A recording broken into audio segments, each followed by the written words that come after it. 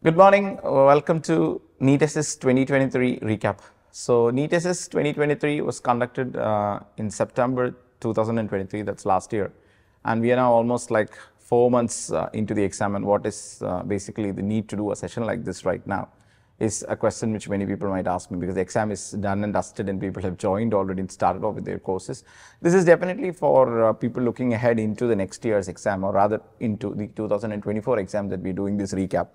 This recap is mighty important for many reasons, uh, primarily because we are having two categories of students now and uh, that division or bar is very, very important those entering into their third year of MD DNB. So they form the first category and the major bulk category who are the hot favorites as far as the exam is concerned. We will see why. And then we have this uh, minority category who we generally, it does not right to call them repeaters, but it's in a way that they have written the exam once. But here I'm mostly focusing on those people who have had take, who've taken a break and are coming back into the scene maybe after a year or a couple of years. And there is one more category, people who have done their pediatrics MD or anesthesia MD, DNB, and uh, wanting to come into the medical stream. Like for example, a pediatric person wanting to take up endocrine or nephrology, anesthesia person wanting to take up critical care. So these are the three categories whom we are trying to cater to. So I think I've already mentioned this a lot of times before as well, that the experience that we've had with this exam is very less this pattern examination started only in 2022. So how many exams have we had? We have had only two exams like this thus far. So to make big time extrapolation with respect to these two exams is not very easy. So how many questions do we have for this exam? We have 150 questions, which are basically medicine based. Why do I say in the beginning itself that these are the hot favorites? Now, these guys are going to be the hot favorites and beating them per se is not going to be easy. So, the people who are entering into their final year of MD-DNB and are going to give the exam this year, their MD Prof exam as well as the exam of exam NEET this year are definitely the most, most hot favorites. And for these guys to come and beat them is mostly not a practical proposition. Why? Because this exam has 150 medicine questions. That is what they supposedly say, okay. But if you look at these 150 medicine questions, even last year or year before last, we do have a lot of questions on genetics. It's around 7, 8 questions on genetics. We do have at least 5, 6 questions on basic sciences. That means the uh, physiology part, the pathology part, etc. We do have around 6, 7 questions on biostatistics. Okay. If you add up these questions, and then of course the basic science related questions also will come to that. You add up these questions, these questions would actually come to approximately 2025 and what they have asked under infectious diseases, what they have supposedly asked under infectious diseases is many of the times microbiology, identifying the organism, knowing basic points about the organism, knowing listeria are intrinsically resistant to cephalosporins and that listeria are very responsive to ampicillin. These are all NEET PG level questions. So the time gap that you take between NEET PG and NEET SS does make a lot of difference with respect to your result. It has gone to that level that if you make a NEET PG student, NEET PG aspirant write NEET SS exam, he may some, sometimes outsmart you and score more. Because there are so many questions which are centered around these to, to be very precise around 25 30 questions. That can make a lot of difference. So the more time you are actually taking to write this exam from the finishing of your course would actually make you lose your chances of getting a great rank or dwindle your chances with respect to getting a great rank. So that is why if you are serious about pursuing a DM course, that is primarily up to you. And there are so many pros, cons, etc., etc., and that's not the topic for discussion here. Then you have to be giving the exam as early as possible because of the reason that the preparation that you do for your MD final year exam is more than enough for a vast majority of questions as far as this exam is concerned. So apart from these basic uh, issues that I have discussed, if you look at the core five chapters from where majority of the questions come, then it is neurology, cardiology, liver, I am not saying gastro, just liver, endocrine and nephro. So these are the five chapters from where we have majority of the questions coming.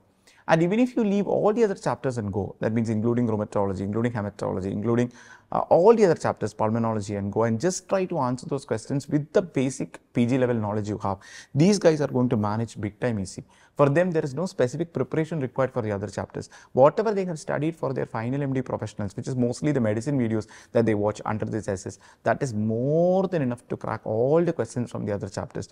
The kind of questions which require you to specifically prepare are going to be coming from only these five chapters. That was the case last year. That was the case in 2022 also. And And as far as 2023 exam is concerned, the onus has shifted considerably towards neurology and towards endocrine. Towards endocrine, I need not say because endocrine is already a big time hot specialty, but there's a considerable onus shift towards neurology. That's why people are preparing seriously for their MD finals where you need good amount of neurology knowledge are the hot favorites here. If you're asking me to do a recall session any of the subjects as far as this particular exam is concerned, I can do with considerable ease, but I cannot do it in neurology this time. It's not easy. You can actually see Bashik's uh, recall session neurology NEET 2023. Majority of the questions can be discussed only by a neurologist, cannot be discussed by a medicine person. There are so many questions which are core neurology. So it will be tough for everyone, understood, but neurology knowledge has to go one step above. And cardiology, I need not tell you because cardiology, whichever format of exam you take, whichever format of exam you take, I would recommend you to watch Nishant Sagar's videos just because you are a medicine doctor, not just because you want to become a cardiologist or neurologist.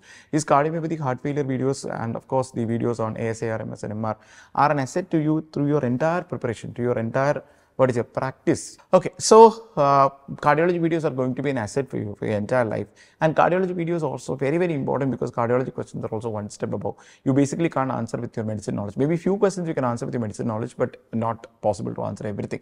So as far as the exam is concerned these five are definitely hot and i'll try to dissect them and see as to what level of knowledge you require for each. But essentially if you look at a md final year student who is actually going to give his exam for him things are in perfect place. He is already preparing for his md final year exams. So basically he is going through the medicine videos. He may be reading Harrison, but again that is debatable because most of the updates that we have discussed are not part of Harrison. If you look at ADA 2024, ESH 2023, or you look at uh, Gold 2023, GINA 2023, KDIGO 2022, all these updates are like going to be coming in Harrison maybe in another four years, five years time. So definitely that's not the topic for discussion and reading slide by slide Harrison, sorry, page by page Harrison, chapter by chapter Harrison and thinking that you are good at medicine is basically just useful to fox your friend or a junior who hasn't read. If you come to a real-time competitive scenario, it doesn't hold anything great.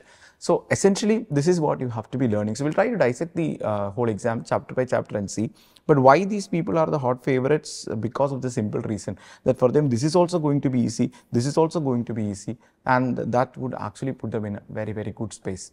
So what can the others do? So that's the first question. So this video is primarily designed towards these people, the people who are actually the repeaters. Now, repeaters are people, mostly we don't have these chronic repeaters and all now, primarily because there are a lot of seats. So, it's not that a difficult task to get a seat into SS. It's not like the times when we were writing where vast majority would fail and only 1% person would get in. It's the other way around now. So, repeaters who mean people who have taken a pause for one year and are doing SRship and writing the exam the next time, who wrote the first time, maybe got a rank of 1500, 2000, so want to write the exam the next time. For them, this is the time period where they have to start preparing. So, till now they've taken a break, maybe February or March, they can actually start off with the preparation. When they are starting off with the preparation, they have to be very, very sure that they do once again go back and study medicine in detail before going to the subject. Unless and until they are core INI aspirants and they are we're not discussing about INI aspirants here. We're talking about the vast majority of students who are actually NEET SS aspirants. So you have to go back to medicine watch the medicine videos understand the medicine videos in detail and have you'll be having your own notes. So just again going back through that.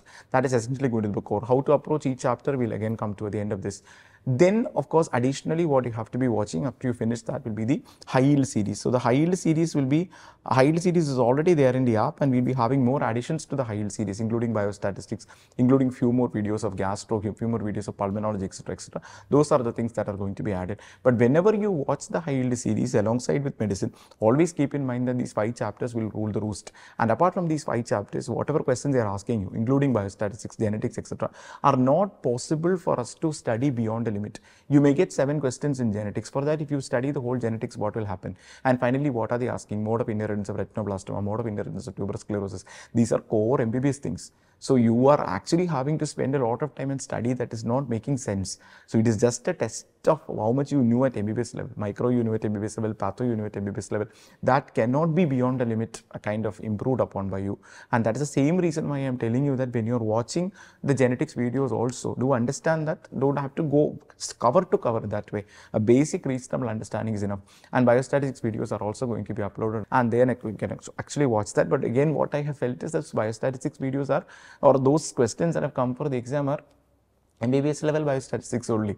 So that's the reason why the more gap you take from your MBBS, then there is a problem. So for them, this is the basic uh, plan. People who are finding it difficult to actually come to terms with the exam are people whose MD courses in another subject, especially the uh, guys who come from anesthesia background and pediatrics background. I'm so happy and proud about them because many of them have tried to actually learn the whole medicine, come into terms with medicine, and then again watch the high yield series videos. And they have, they may be actually taking a bit more time, but their commitment is actually more.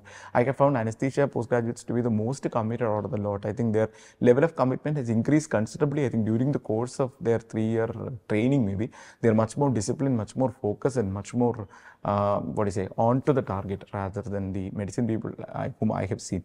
So essentially for them, it's a bit, of a, a bit of a task because they have to change gears. It's like asking me to study pediatrics and then appear for another exam. It is possible because I have done my internship in pediatrics reasonably well. I can start. It take a lot of time. It's not easy for me to just like that dwell into pediatrics. Even when I see a case now, like three-year-old, four-year-old child, the, the thought process will not come straight into my system. I have to maybe discuss with three, four people. Then I go and see. Then only I'll understand. So that difference will be there. But you can obviously kind of sort it out. Then the question is like, okay, you've said to start with medicine. So if you asked to start with medicine, then uh, what is the modus operandi or what is the kind of plan? Because there are so many chapters. Let me just make it very clear that the bulk discussion is on these five chapters. Other chapters we can just kind of watch on, watch on, watch on. Just very superficial level knowledge is more than required. Where we have to be dwelling deep are endocrine, uh, nephro, cardio, of course, um, and hepatology. So when you think of endocrine, endocrine medicine videos have been done in detail. Endocrine medicine videos under your SS, whatever are uploaded, are actually little different from the NEET PG videos. So there have been done in detail. Every cover, every nook and every corner has been actually covered. What you have to do in addition, I think are Mayur's high yield SS videos, which will take you to the next level. But even if you don't go to the next level, 85-90% of the questions you are safe. What I have not covered, I would say, is the pediatric and the gynecology part of that, which is the reproductive endocrine part, which I have not done in detail. That those portions, if you can actually watch from Mayur's, uh, I mean, MCQ discussions and the high yield series, which especially is your disorders of sexual development, etc. That again would be the only other thing that you have to be doing. As far as nephrology is concerned, I can tell you that even if you don't watch a single video of nephrology SS under Marrow, it's perfectly okay. Nephrology medicine level videos are more than enough to answer the questions that they have been asking now. So nothing more required. Cardiology uh, is actually speaking the easiest subject to score. Easiest subject to score because although cardiology is very vast, they will ask you questions only on certain set topics, including cardiomyopathy, uh, heart failure, uh, pericardium and of course your valvular heart disease. If you know valvular heart disease, ASAR, MSMR, cardiomyopathy, pericardium and of course heart failure, that settles the deal for 90% of the questions and uh, you can watch my discussions which are very basic level cardiology discussions and then follow it up with the high yield series of Nishant. And if you watch Nishant's videos during your MD preparation, majority people are actually watching Nishant's videos during their MD finals for their practical exams. So that will be more than enough. The uh, liver videos again I have done in considerable detail. So I have done liver videos in good depth and you follow it up with uh, Dr. Tarun's SS videos, high yield series under that high yield section. I think that should be enough for you. The subject where you're going to have a bit of a problem is neurology because neurology is very vast and you're learning neurology during your final MD also. People who are not in final MD and coming from anesthesia background, etc., it's a little tough. As far as neurology videos are concerned, the positive part is that Dr. Bashak has done a recap, sorry, not recap, a concise neurology section under high yield where he has covered every topic under high yield. So all the neurology things have been concised into a very short format. So it's not practical for you to watch the entire neurology videos under NEET SS Neuro. So you can go to the high yield series and watch everything and simpler discussions, you can see my style of discussion also, which is a more basic neurology. And what he has done is the advanced neurology part and you can actually club both and do, or even if you do his videos from the uh, NEET SS part high yield series, that is going to be enough. I think this is essentially what you need to do to give you more and more uh, inputs with respect to the exam and daily, daily updating you and telling you this is to do, that is to do, is basically out of question. And I feel really, what I say, irritated to be coming and doing that. See, this is a session that we're doing after hiatus a few months. That's primarily because you should be asking this question to yourself, like, how old am I? And is this the age to seek advice? When you, when you actually type and ask for advice, you should be thinking about yourself, like, how old are you? because at your level i think this is, there are there are changes but at your level generally maybe 10 15 years ago the the student who was appearing for this including me and everybody else was married and was the father of a child. So at that age, if you are keeping on asking for advice, advices means there is something seriously wrong with you. So please have, uh, please do ask questions on basic guideline with respect to an exam. I want to appear for IAS exam now. I'm not eligible because 32 is the upper limit. But if you are appearing for IAS exam now, I can't be going and going and digging into every small thing. I should be knowing as to whether I'm good enough for that. I should be knowing as to what is the kind of subject that I need to take. And I should be also knowing as to why I want to do this. So so nobody is there to decide. I am the person to decide the fate of my course because MD medicine is a course which so many people at so many different levels have done and done so many things out of that. Deepu Sebin, who is the CEO of Marrow, has also done an MD medicine course. I have also done an MD medicine course. Nishant has also done an MD medicine course. We have all done MD medicine course, but we are doing different different set of things with that. So need not necessarily mean that we all have to do the same thing. So what you need to do out of this course, what you need to gain out of this course, what kind of a living you need to make out of this course is all purely your your your your prerogative or basically it's up to you to make a decision. Unnecessarily kind of uh, digging deep into the exam and every day asking about this to study that to study. That is for a school student okay? Obviously we have grown beyond that so that's why my life after MD DNB medicine is purely my prerogative and me asking that, uh, asking about that, asking an advice about that to anybody for that matter doesn't make any sense. I am grown up enough to make a decision upon that. If I am not grown up enough, then I have to think as to what is wrong with my upbringing. Why am I not grown up enough? So is DM the real need of the hour or is it peer pressure is the other major question. DM is not peer pressure, but uh, MD is basically very competitive. So once you are passing out as an MD medicine person, if you want to really survive, you have to be extraordinarily good because your diagnostic skills are going to come to the fore. So you just cannot uh, kind of bank on a hospital or corporate to give you the necessary boost. Can't do that. So you have to be slogging yourself and doing it. So MD medicine is more than enough for people who continue, want to continue uh, with the medical medical college system, who are very happy in the medical college system, who want to set up their own practice and who want to set up their own hospitals, who are actually in tier 2 and tier 3 cities, even if they don't do DM and continue with their medicine, their medicine knowledge will improve, improve, improve, and they can really, really kind of uh, make it big. But otherwise, if you are planning to get attached to a hospital, you're staying in a tier 1 city and then you are basically continuing with medicine means it doesn't make sense. Those are the people who have to shift gears, but there is no pressure as such. I see a lot of people just out of peer pressure because 8 out of 10, 8 out of the 10 classmates I had for MD joined for DM. I also should join for DMC. When you're joining for DM, you remember that you are actually kind of losing on a very powerful weapon that you've had and that weapon is your medicine. And you will lose it because if you do gastroenterology at the end of three years, definitely you are going to be subpar with respect to medicine. You can never compete with a person who is updated with medicine. I am myself finding it extremely hard. I'm taking that extra mile effort to go and be updated with respect to these procedures and to understand what's happening in the other specialities. It's not easy. But when you are in medicine, the power of diagnosis that you have now, you think about it, whether you really want to pursue is also an important thing because the specialities are all skill based except for rheumat and endo. All the others and neuro to, a, to, to an extent are not are skill based. So when you're going to a skill based specialty, if you don't have the necessary skills, you'll be found wanting. So whether you are having the skills, whether having good hands, the language is different, the narrative is different, the entire kinetics of the subject is different. Whether you can adapt yourself to that difference in kinetics is the most important question that you need to be asking yourself. And if you are set and ready for that, and you are very clear about your clear about the fact that you want to be doing it, definitely get ahead. But no doubts with respect to the fact that even if you stop with medicine, there is nothing, nothing pegging you back, and there is nothing that you need to feel bad about because ultimately we have all actually done this course to study medicine only, and there is nothing beyond that. Okay, so views again. Uh, as far as our MD preparation is concerned, nothing, uh, see, as far as our whole exam is concerned, if you are MD final year student, nothing else you need to do. Whatever I have said will hold you in very good stead. To wait for a year or two to strengthen medicine by personal life is always welcome and nothing you're going to lose out of that.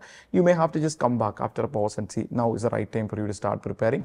And if preparing after a hiatus, what to do is what we have actually seen. So there again, you need to start with medicine, get a good grounding on medicine and then go forward. Okay, so let us start off. So focus on medicine. This is for the other subset. That means the people who are actually doing uh, uh, pediatrics and anesthesia have finished and then are coming back. For them, the focus is always on medicine and to do the high yield series, especially cardiology, neurology, high yield series. And on the whole, what I feel is reading is a waste of time. Absolutely, because in during our times we had to read because we had no online platforms or no online source, so we had to gather information from so many places. Right now, it doesn't make any any sense any sense whatsoever. If you try reading neurology, even if you read for five years, you'll not able to get the points that he has said over a period of say seven hours or eight hours because those are condensed, concise, the most high yield points. For us to figure it out from the textbook is really impossible, and the experience that is added onto that is also too much, and the textbooks are not updated as well. Okay,